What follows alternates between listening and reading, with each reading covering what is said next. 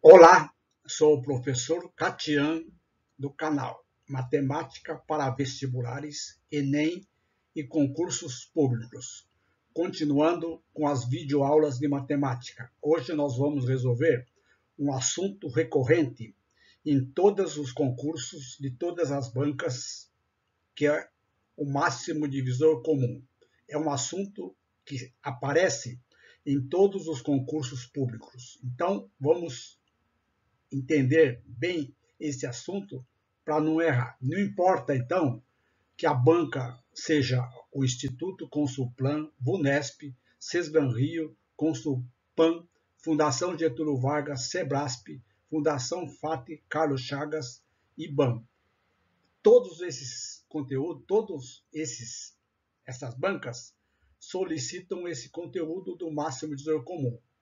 E também o mínimo múltiplo comum, que foi um assunto que nós abordamos em uma das videoaulas anteriores. Portanto, vamos para a resolução de duas questões sobre o máximo zero comum. Vejam, primeira, em um colégio de São Paulo, há 120 alunos na primeira série do ensino médio. Na segunda série, temos 144 e na terceira, 60. Na Semana Cultural, todos esses alunos serão organizados em equipes com o mesmo número de elementos, sem que se misturem alunos de séries diferentes. O número máximo de alunos que pode haver em cada equipe é igual a. Então, um problema típico de MDC, logicamente, porque nós estamos tratando deste assunto nesta videoaula. Então, a pergunta é o seguinte: quando que eu utilizo o MDC? O que, que é o MDC? É o máximo divisor comum. O que, que é o máximo divisor comum?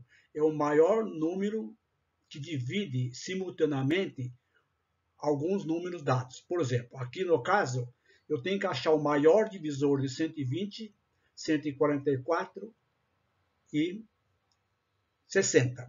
Logicamente, alguns exercícios são bem é fácil de resolver, mas é bom entender porque algumas questões são questões que precisam um pouquinho mais de atenção. Então vamos lá. Quando que eu utilizo o MDC? A pergunta é: quando? Utilizamos o maior divisor comum quando aparece termos como máximo, divisor, dividir, ou quando a pergunta do problema solicita algo no intuito de quantidades do início. Aqui, por exemplo, ele pergunta ó, o número máximo de alunos que pode haver em cada equipe. Ou seja, dessas três séries, qual o maior número de alunos que pode ter em cada equipe? Então, é exatamente o problema que nós estamos abordando. Para calcular o MDC, nós vamos utilizar o método das divisões sucessivas. É muito parecido com o cálculo do mínimo múltiplo comum, portanto, muita atenção. Nós temos outras metodologias, mas eu acho mais fácil esse método. Então, lá. Colocamos os três números aqui, não necessariamente em ordem, pode ser em ordem crescente decrescente ou misturado, sem problema nenhum. Passamos um traço e dividimos pelos números primos. São aqueles que já nós citamos. Números primos são aqueles que têm dois divisores. Ele próprio e um. Por exemplo, 2. Quais são os divisores do 2? 1 um e o 2. Portanto, é primo.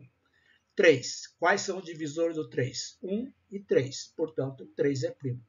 6. É primo? Não, porque tem o divisor 1 2, 3 e 6. Tem mais de dois divisores. Os, os primos usuais são estes: 2, 3, 5, 7, 11, no máximo 13, 14, 13 e 15. Então, vamos lá. 2 é um divisor comum. Divide os três simultaneamente? Sim. Coloca em vermelho. Quando o número primo é divisor comum, coloca em vermelho. Quando não é, coloca preto. Então, dá 60 72, 30. Ainda dá para dividir por 2? Sim. Vermelho. 30, 36, 15.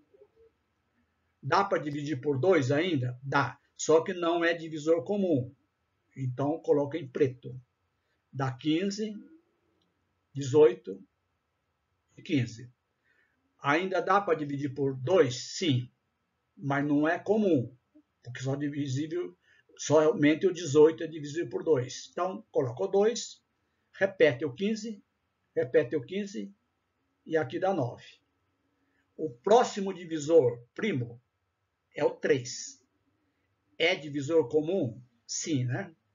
Divide, é divisível, é divisível, é divisível. 3, vermelho. Então dá 5, 3 e 5. O próximo divisor é o 3, não é comum, preto. Repete o 5, dá 1 e repete o 5. O próximo divisor é o 5. Pronto. O maior divisor comum desses três números é exatamente o produto desses fatores vermelho. 2 vezes 2 vezes 3, que dá exatamente 12. Este 12 representa exatamente o número máximo de alunos que pode haver em cada equipe. Ou seja, é o maior número que divide simultaneamente os três portanto, 12 alunos, que é exatamente a resposta alternativa letra C. Vamos fazer a verificação. O que acontece se cada equipe tiver 12 alunos? Só para conferir. Logicamente, isso aqui é desnecessário. Na primeira série, eu vou ter quantas equipes? 10. 120 dividido por 12 dá 10 equipes. Segunda série, tem 144 alunos. Divide por 12, dá 12 equipes. Na terceira série, tem 60 alunos. Divide por 12, dá 5 equipes. Portanto, esse é o número máximo de alunos. Resposta alternativa, letra C. Fácil. Agora vamos para a resolução da questão 2. Antes, eu gostaria de dar um aviso aos meus amigos youtubers. Se vocês encontrarem algum erro, favor notificar através dos comentários. Outro detalhe, algumas videoaulas ficam um pouquinho difícil de entender. Portanto, faça os seus comentários enviem para que eu possa melhorar minhas videoaulas, tá? Eu tenho recebido comentários algumas vezes um pouquinho assim mal educado. Então, gostaria que manda um, um, um, um comentário que eu vou procurar melhorar minhas videoaulas. Eu tento melhorar sempre, tá? Eu consigo, eu estou conseguindo aprender muito com vocês, com os feedbacks que vocês estão enviando para mim, tá? Eu sou novo no, no ramo de produzir videoaulas, tá certo? Então vamos para a próxima aí. Um ferreiro vai confeccionar pedaços de barras de ferro de mesma medida. Ele dispõe de 35 barras de 270 centímetros, 18 barras de 540 centímetros e 6 barras de 810 centímetros, todas de igual largura. Ele pretende cortar as barras em pedaços de mesmo comprimento, com, sem deixar sobras, de modo que esses pedaços fiquem o maior possível. Então, tem uma condição. Ele quer dividir essas barras aqui, 35, que tem 270 centímetros, em pedaços que tenham o mesmo tamanho das outras barras, mas não pode ter mais que um metro, 100 centímetros. Ele pergunta, quantos pedaços de barra de ferro o ferreiro pode produzir. Então, observe, é um problema de máximos do comum. Eu tenho que saber o tamanho máximo de cada barra. Eu tenho três, é, três tipos de barras. Ele quer cortar mas que tenham o mesmo tamanho, o mesmo divisor. Então, vamos lá. Cálculo do comprimento das barras utilizando o MDC, maior divisor comum. Então, vamos lá.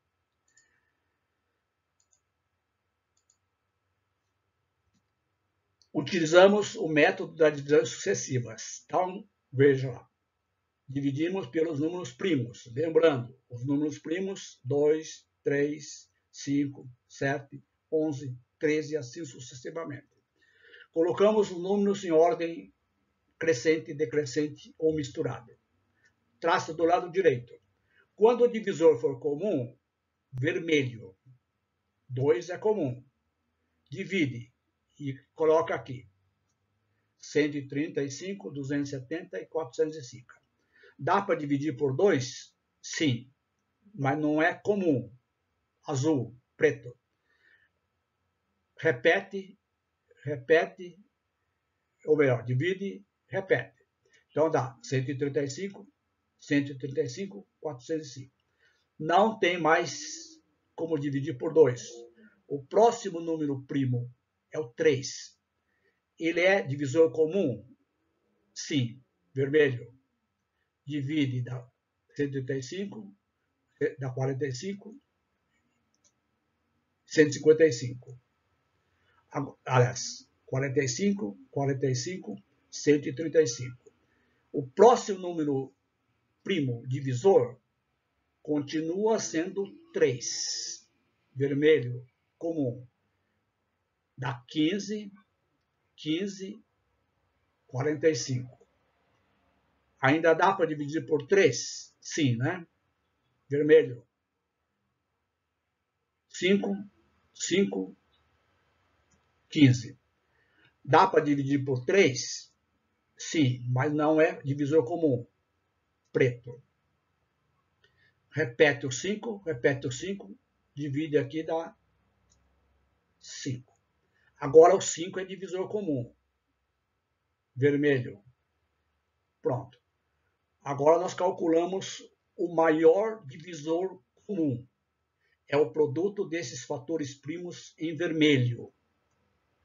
2 vezes 3 vezes 3 vezes 3 vezes 5. Multiplicando dá 270 centímetros.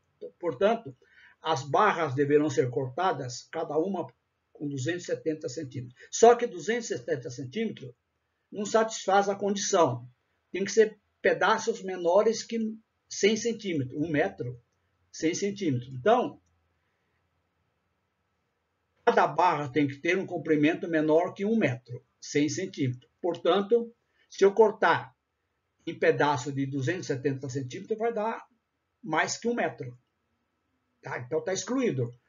270 dividido por 270 dá um, uma barra de 270 centímetros. 540 dividido por 270 dá duas barras de 270 centímetros. Portanto, está excluído. Então, o que, que eu devo fazer? eu tenho que pegar, agora presta atenção, os múltiplos de 200, de, desses números aqui, que seja menor que 270. Quer dizer, fazendo as contas, eu tenho o maior é 270. O menor, se eu tirar um 2 aqui, aqui, quanto que vai dar? Dá 135, né? 135 centímetros ainda é maior que um metro. Então, o 135 está excluído. O próximo, eu tenho que tirar, multiplicar isso aqui, eu vou colocar aqui direto, é o 90. Tá? 90, ó, observe, 90 é divisor de 270, é divisor de 540 e é divisor de 810. Portanto, o tamanho máximo de cada barra vai ser 90 centímetros e não 270. Então, cada barra tem que medir 90 centímetros. Agora vejam. Logo concluímos que cada pedaço deve ter 90 centímetros, não 270 e não 135, que são divisores também desses três números. Então, vejam. A barra de 270 centímetros vai ser dividido por 90. Dá quantos pedaços? 3. Só que eu tenho 35 barras. Então, isso aqui vai dar 35 vezes 3, 105 pedaços desse primeiro. Barra de 540 eu vou dividir por 90. Dá 6 pedaços de 90. Eu tenho 18 barras do tamanho de 540. Portanto, 18 vezes 6, 108 pedaços dessa barra de 540 centímetros. Barra de 810 centímetros, eu vou dividir por 90.